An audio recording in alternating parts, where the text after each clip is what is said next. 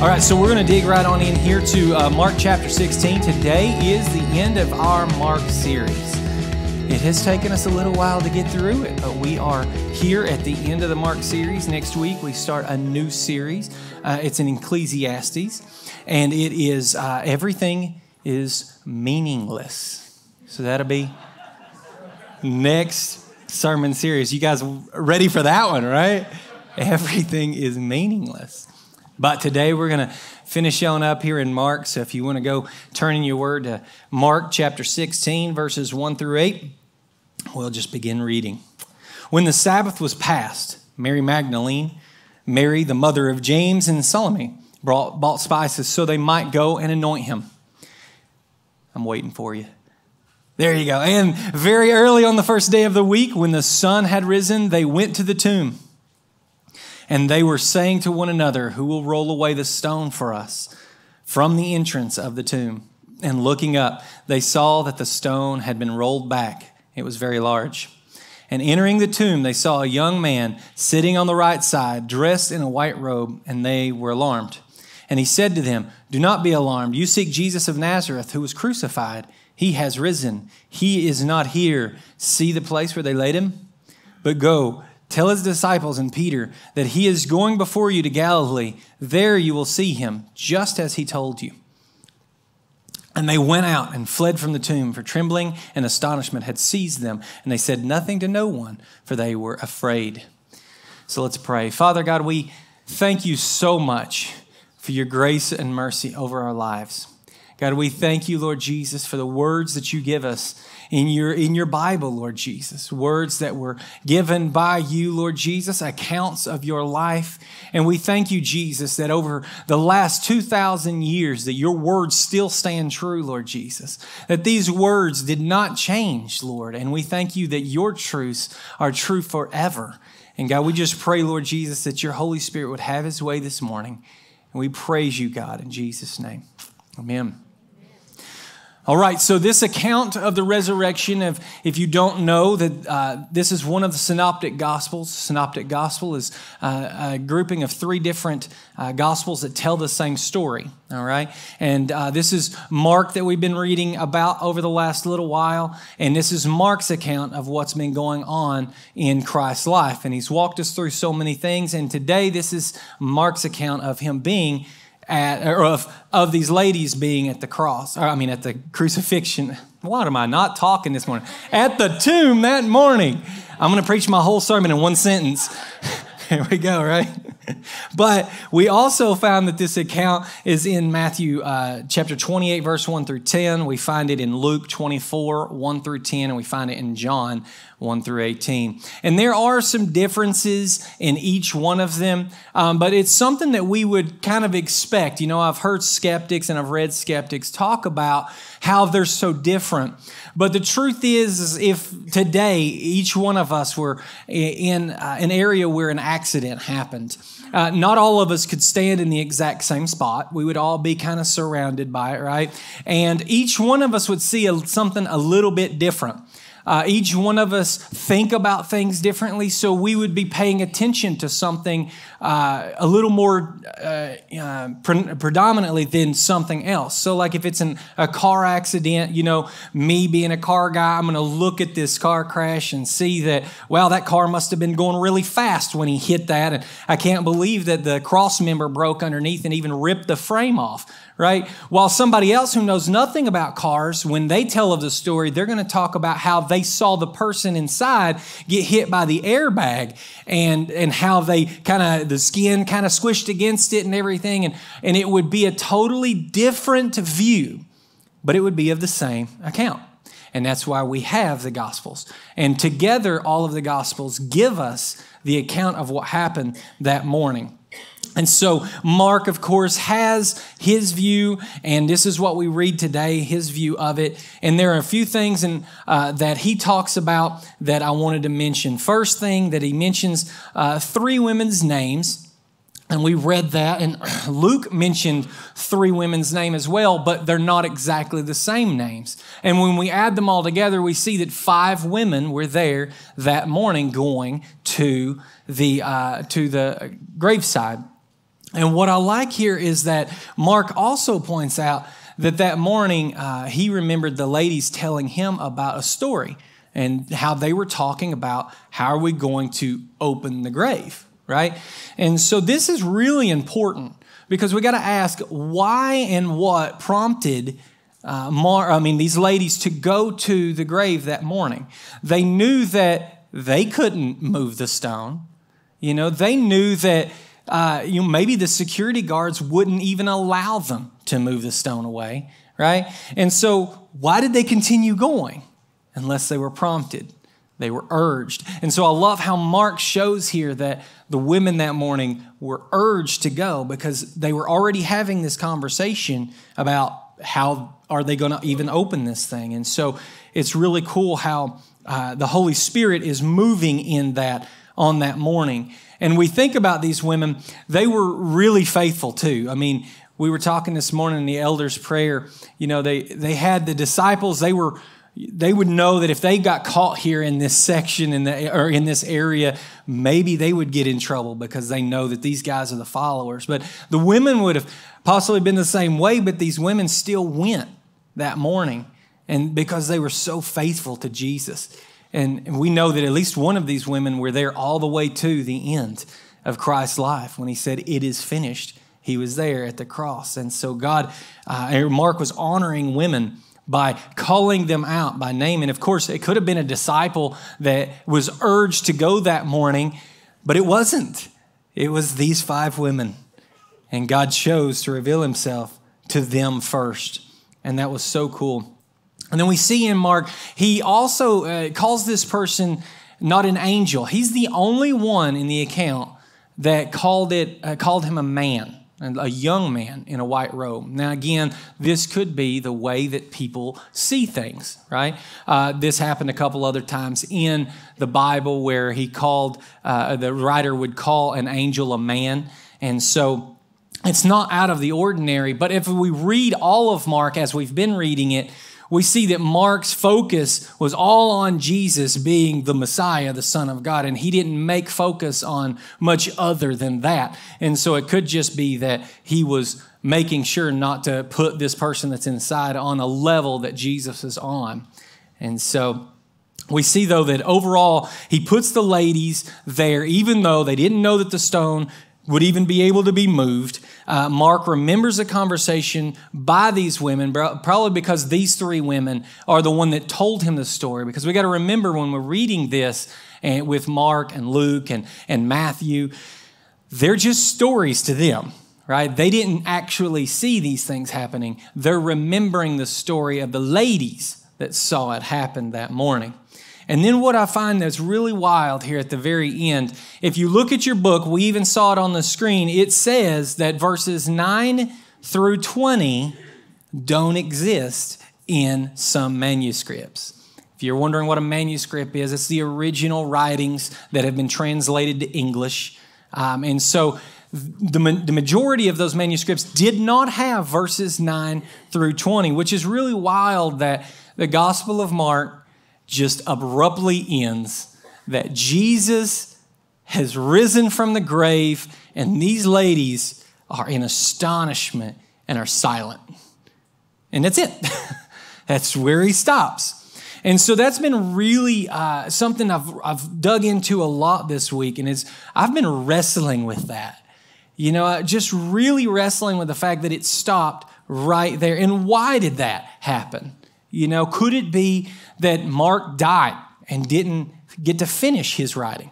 Could it be that Mark wanted to put the focus of Jesus Christ, the Son of God, the Messiah, there at the, at the crucifixion alive and just leave it there? He's alive. This is the Son of God, right? It could be that pieces were missing that were found later, and that's why it said that some manuscripts say 9 through 20 is added later. It could be that the rest of it did get written, and that is what we read as you read verses 9 through 20 in your Bible. But it's really wild to look at that and see what Mark was trying to do and what he was trying to say. But we do know that Mark focused on Jesus being the Messiah, on Jesus being the physical embodiment of God. And at the cross, uh, at the cross, that the, even the enemy, one of the Roman soldiers said that this is the Son of God. And this is amazing. And so as I'm reading through this and I'm like, God, what is it that you're wanting me to, to, to talk about this morning? My mind continually went to the, the significance of the resurrection. As everything ends right there with Mark talking about how Jesus was alive. And so today, I want to focus the majority of my time on the significance of the resurrection of Jesus to our faith uh, today and uh, the faith of a Christian. So I want to break this down into three different points. I'm going to first talk about why did Jesus have to raise from the dead at all? Then I'm going to talk about what happened in eternity when he did. And then I'm going to talk about what this means for us today. So let's begin. Why did Jesus have to raise from the dead? You know, Jesus did amazing things while he was alive. We know that he did incredible miracles, that he taught us how to live in amazing ways, and, and he taught people how to love one another, and he taught us amazing things about the Father.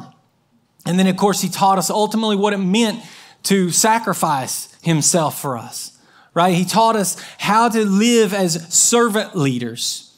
He taught us so much. And if Jesus was just stepping out to pay our earthly penalty of sin, then he did that by dying on the cross. Because if you were to go and uh, kill somebody at that time and your sentence was the cross, and he took that for you, then your, your penalty is paid. So then the question is, is why did he have to raise from the dead? Well, the first reason, of course, is because he said he would. Multiple times, Jesus said, I will die and rise from the grave. So, first, he said he would, and if he didn't, he would have been a liar, right? But God had never lied. Jesus had never lied, and he had been uh, he had uh, uh, came through on every word that he had ever said. But he's not the only one that told us this would happen. What I find amazing, and, and if you know the entire scripture and how it goes, Jesus and, and God told Isaiah years and years ago, 700 years before Jesus come in the embodiment of a little baby, the Godhead told Isaiah what was going to happen. And we see that in Isaiah 52 and 53 that the suffering servant would come in and he would die and he would rise again. And so here we are. If he didn't, then he couldn't be the Son of God, the Messiah. So it says here that um, in, Matthew chapter uh, 7, and 22, as they were gathering in Galilee, Jesus said to them, The Son of Man is about to be delivered into the hands of men, and they will kill him, and he will be raised on the third day. And the disciples were greatly distressed. And it seems that they'd kind of forgotten these things I, because you don't see much about it. You know, I was talking again this morning about how if, if this is going on, and Jesus had told me that he was going to die and then three days later come back to life. Where would I be on the third day? You know, on day number three, am I am I going to be, you know, somewhere on the other side of the world? No, I, am probably going to. If I'm scared, I'm going to be in the bushes somewhere near the the grave, right? Trying to see because I want to keep my eyes. It's like, did they forget about this or something? It's really wild because if you think about it, the only one that seemed to be concerned with Jesus' resurrection was the enemy. Because we see in Matthew chapter 27 and verse 63, the enemy was the one who said, Hey, remember, he said he was going to raise from the dead. That's the reason why we have the stone in front of the tomb. That's the reason why we have the guard at the tomb. It's because the enemy remembered what Jesus is going to say. And so I just find that really wild to think about that you know, the, the enemy realized the significance of the resurrection of Jesus and what that meant for the world because they knew that if he did raise from the grave, what that meant. And so, if he didn't raise from the grave, the entire Christian faith would be worthless. That's not my words. I'm actually taking that from Paul in 1 Corinthians 15, verse 7. And if Christ has not been raised, your faith is futile or worthless, and you are still in your sins. One of the things you think about is if Jesus didn't raise from the grave, he would just been like any other cult leader over the last 6,000 years. Yeah, maybe be like Buddha or something like that, maybe Muhammad or somebody that leads people astray. And you would know about them, but there's not a huge following of them, right? But everything that happened it makes us remember all of world all of the world come around it. So if he didn't raise from the grave little would be known from him. But because he was raised from the grave all of history now has been timed by his life and resurrection that is one part that really gets me when i talk to people who don't believe that christ ever existed that one is like almost like a flat earther you know, because all of life's timeline is around his life. So if he didn't exist, why are we still counting days by his life? Everything in history before the last 2,000 years says before Christ. and everything after was after his life. So, how in the world would we be, what would we be counting if he didn't raise from the grave? Because if he didn't die on the cross, or if he didn't raise from the grave, then we would have realized that he's just a lunatic. Because he, he would have been a liar if he didn't raise from the grave, right? And he did call himself God, right? A number of times. He said that he was one with God, that he was on the same level of God. So that would have meant that the world itself wouldn't have counted itself around his life. Because who was this man from Nazareth then if he didn't raise from the grave? So, number two, what happened in eternity when he did raise from the grave? The resurrection of Jesus from the dead proved that he was Christ, the Son of God.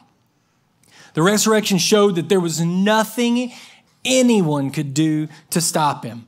No enemy could keep him. Every human enemy's uh, schemes that they tried was undone at the resurrection. Everything that the spiritual enemy for all of time was trying to do was undone at the resurrection. And there's an amazing truth that's found on this day. When, on a resurrection morning, when he rose from the grave, everything that Jesus said would happen, everything that had been prophesied for all of time, it was sealed. It was done. It was completed.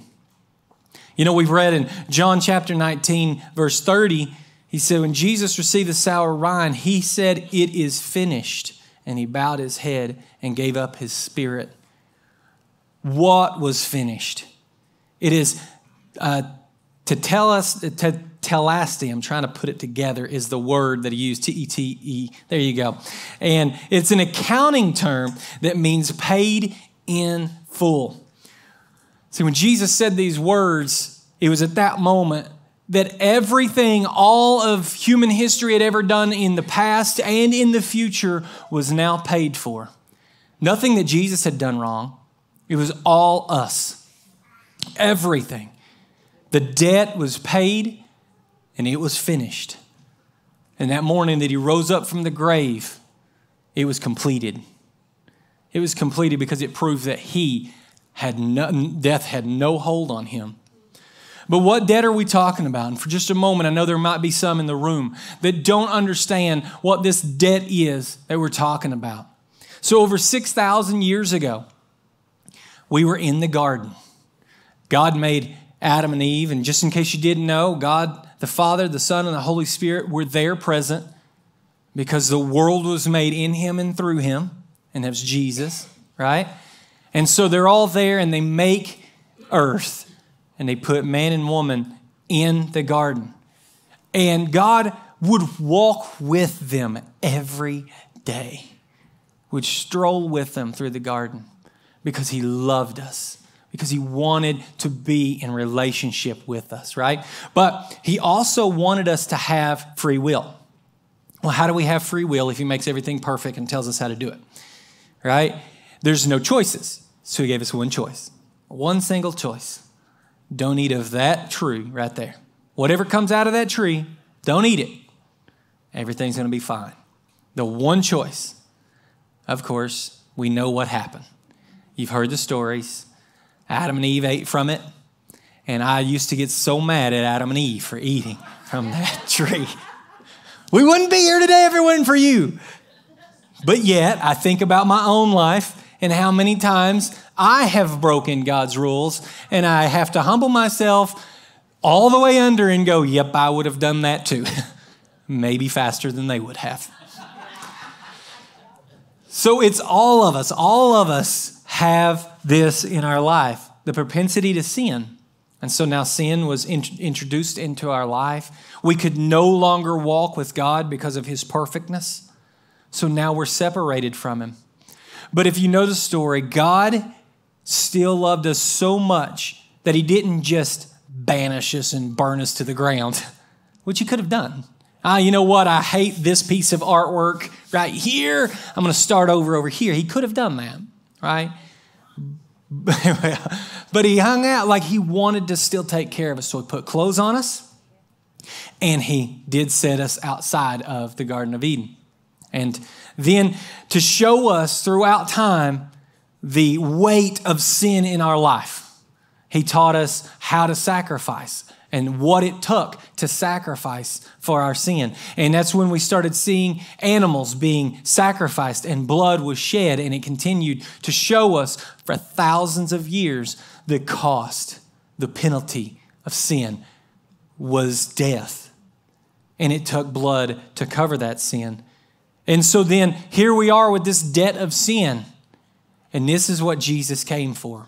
And it was a plan all along. This wasn't a plan two. All right, well, first one didn't work. Plan two. No, this from the beginning. As uh, Scott talked about last week, Jesus knew what he was coming to earth for. Jesus chose to follow through with the sacrifice. And in his very last words, he said, It is finished. All of time, we were separated completely from the Father, completely separated with no way to commune with him.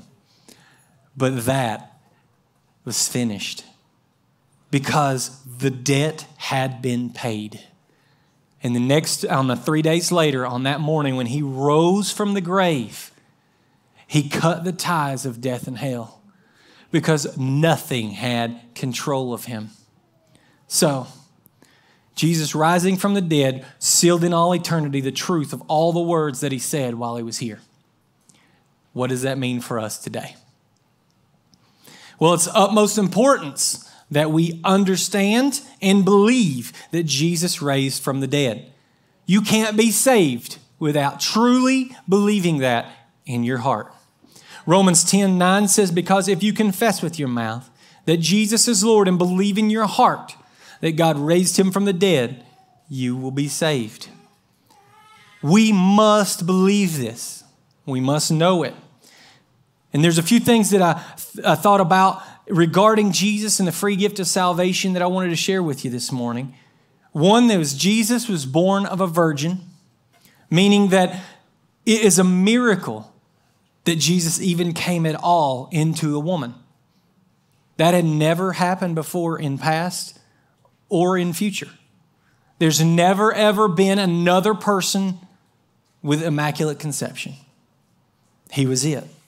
Jesus lived a sinless life, although he had every opportunity to sin, but never once did. He was the perfect human. And this had never happened in the past, and it's never happened since.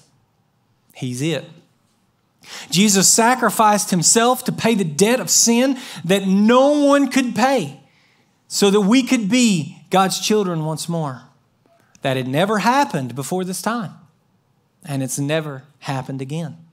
We don't hear any other stories ever again. We don't have a new timeline, you know, that we have, you know, BC and AD, and then we go a thousand years, and then we have uh, a BT, and, a, you know, some whatever, you know, before Tom and after Tom. We don't have that. It's all about Jesus. Everything. Everything in the Word of God is about Jesus. All the way back to Genesis chapter 1, verse 1.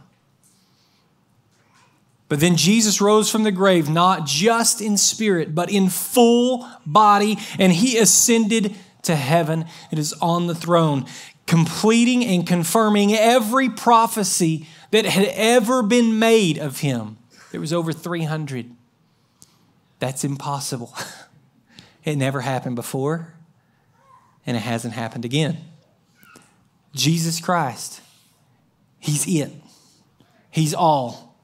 His resurrection sealed in once and for all all of everything that He said. And because of His resurrection, we now can have an intimate relationship again with Him. Just as the beginning, when He created heaven and the earth and He set it in motion, and He was walking with us in the garden. Now, He's not just walking with us in the garden, in the world, He's walking in us. So many times I think about how cool it would have been to just be in person with Jesus as one of the disciples. But we have it much greater. He's in us. We feel Him, not just physically, but spiritually. We feel Him, we hear Him, we're guided by Him. But it was after He rose from the grave that He gave us the Holy Spirit. It was after He rose from the grave that the day of Pentecost happened. He gave us the Holy Spirit, the same Spirit that was with Jesus, that raised Him from the grave. He now put inside of us. Just breaking loose the fangs of death in Acts 2 and 24 because it's not possible to hold Jesus. Now, because of what Jesus did for us by the resurrection, proving that death could not hold him, death doesn't hold us. We should not be afraid of death. If we know Jesus Christ today, there should be no fear of death because it doesn't hold you it has no power over you. The ultimate victory that was provided when Jesus rose from the grave was this is that God adopted us as sons and daughters. The God of the universe that created us has adopted us as sons and daughters, and we will spend eternity with him. Yeah, there's some really cool stories in the Bible about how we're going to have a mansion when we get to heaven. Jesus told us he's gone to prepare a place for us none of that matters as much as Jesus Christ in front of us. Put me in a shed in the corner of heaven as long as Jesus is right there with me. I'm not going to heaven so I can get a mansion. I don't want that. When we truly know Jesus and we understand his resurrection power and the Holy Spirit comes inside of us, nothing in the world compares. Nothing. None of it compares. The resurrection of Jesus reminds us that we should be in awe of God's holiness. He is a holy God. He is not just here paying our debt anymore. He's not just fixing our problems. He's the Son of God on the throne and he should be honored and worshiped that way. See, if he didn't raise from the grave, we talked about all of that, what that would look like of who Jesus would be. But he raised from the, the dead, proving that everything he said was true, proving that he's the Son of God, the Messiah. And now, when they saw him, and there's so many people that saw him ascend to heaven, he's on the right hand of God he is in the Godhead. He's not just our buddy, He's not just our boy. You know, I, I see the picture of Jesus that they've drawn where he's just like, you know, I'm just your friend, you know, or the old songs that we hear. It's not just that. Yes, he does love us. He, he is called Abba Father, Daddy, right? But Jesus said, if you love me, you keep my commandments. If you love me, keep my commandments. And just like any good dad, his rules in his home are upkept, they're honored because they have respect for their dad. And my daddy in heaven, who loves me and I know he's got my back, but he's still God. He's still Father. So we should honor and respect his holy name. We should honor and respect the things that he says are right and what are wrong and not try to skew those or make them fit what we want. The resurrection should remind us that since we are now in Him, every enemy He overcame that day has been overcome for us today and forever. Remember, Jesus said He's coming back. He said that we have a comforter. He left that comforter with us called the Holy Spirit. He's gone to prepare a place for us. He, we're not alone. Jesus is God. He is on our side. And we know this why? Because of the resurrection. Because He proved it all. He proved. And today, I want us to search our life for a few moments. While I was putting all this together this week, I really felt like either someone in this service or someone online, maybe someone hearing it later, doesn't know Jesus. That's why I kind of broke it down a little bit and explained what sin was, explained our need for Jesus. And then we are talking about one of the most important things that we need to understand in salvation is that Jesus Christ raised from the dead. And I want everybody to know in this room that if you confess your sins, confess with your mouth that Jesus is Lord, and believe in your heart that Jesus raised him from the dead, you too can be saved. I felt like this morning that at least one or two of you do not know Jesus. And you hear me today and you're you're thinking, oh, but I've been going to church for a long time. I said that prayer when I was a little kid. That doesn't matter. I don't know if you know, but like saying a prayer is not in the Bible. You know, that's not the way to get to heaven. When we give our life to Jesus, our life changes, completely changes. Now, I'm not saying that you can't say a prayer and get saved. You can, but you must mean it. And you must believe that Jesus Christ raised from the dead. And so today you can have that opportunity. And listen, I'm not going to call you up front today. Here in just a few moments, we're going to simply pray, and everyone's going to pray with you. And today, right where you're sitting, you don't need to come up front. You don't have to do that. Right where you're sitting, you can talk to Jesus, confess to him your sins, believe that he did come up from the grave. Believe that He's on the right hand of God today, and you will be saved. It's a guarantee. And just as we know Jesus Christ raised from the dead, we know it. It is historically proven even outside of the Bible. I don't know if you guys knew that. Science only proves the Bible more and more all the time. Every time they find something, a while back they found brimstone burned in to the Tower of Babel. Like they found the pebbles and everything, proving that that happened. They found when they uh, dug on the bottom of the Red Sea, they found horse and man bones side by side with chariot pieces. Everything in the Word of God happened, y'all. It is true. There were more than 500 people that saw Jesus alive after the crucifixion. It is medically proven that if any man, period, took the beating that Jesus took and that all those who got crucified took, there's no way you can live through it. You're almost dead before you get to the cross. You're in critical condition before you even get there. So there's no way that he stayed alive for three days in the tomb. Right.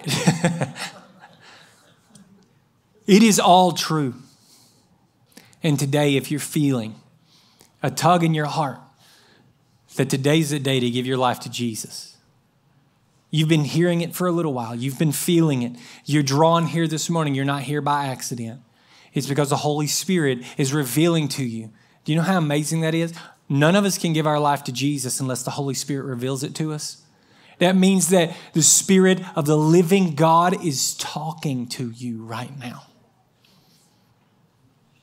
So, today, if you're feeling that, we're going to give you an opportunity to pray. So, let's all pray right now. Father God, we do pray for each and every person here and each and every person watching this. God, we pray, Lord Jesus, that you would prick their hearts. God, that you reveal to them their need of a Savior. God, you rose from the grave so that we could be one with you forever. So that everything that you and the Father in heaven had planned would come to pass because of your sacrifice, because of your resurrection, because of your blood. And now this morning, because of your promise, no one has to leave here without being saved. God, we believe that this morning. And right now, if you're one of those who feel the need right now, you feel the calling to give your life to Jesus, right now, I encourage you to just confess your sins to Jesus. Just not all of them. I mean, it'd take me the rest of my life to do that for myself. But just confess your, I am a sinner. Right now, you can say this I am a sinner, Lord Jesus. I know that what you did on the cross and your resurrection sealed in eternity my salvation. Please come in and change my life. I want you to be the Lord of my life. In Jesus' name. Can all of us right now just pray for just another few moments? And if you've just given your life to Jesus right now, just begin to thank Him in your heart. Just begin to thank Him. Today is the first day of being reborn, of being born again, of your life being changed.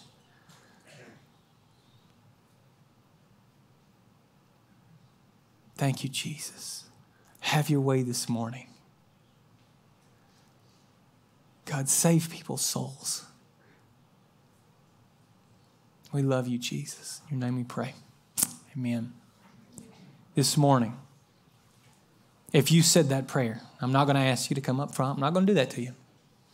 What I am going to ask is that you confess with your mouth that Jesus Christ is Lord of your life. And all that means is turn to someone in your group, turn to someone in your family, or come to the prayer team here after. The prayer team's going to be up here in just a few moments.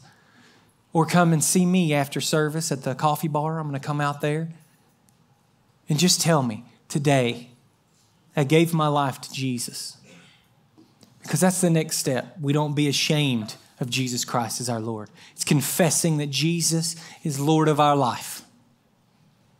Come. And we want to get you set up for baptism as well. All right. Well, God, we just thank you so much for this day. Thank you for each and every person. And God, we continue to pray for all of the ministry that you're doing in and around this world, Lord Jesus. And as we have some of our own in uh, Ukraine, and we have some of our own uh, in other states, and God, we've got some in you in Colombia, and God, we just pray right now that you would move there and have people give their life to you, Jesus, and move in their lives. But God, right now we have a team here as well. So many that come and want to see your amazing miracles and amazing grace, Lord Jesus. And I just pray that you would touch each and every one of them as they're ministering your gospel through action and through serving and through just acts of love, Lord Jesus. God, I pray for divine times where they can speak your word to somebody and that they would give their life to you, Jesus. God, that at least half of them would be able to witness someone giving their life to you this week, Jesus. We just thank you for that, Father. And we love you in Jesus' name. Amen.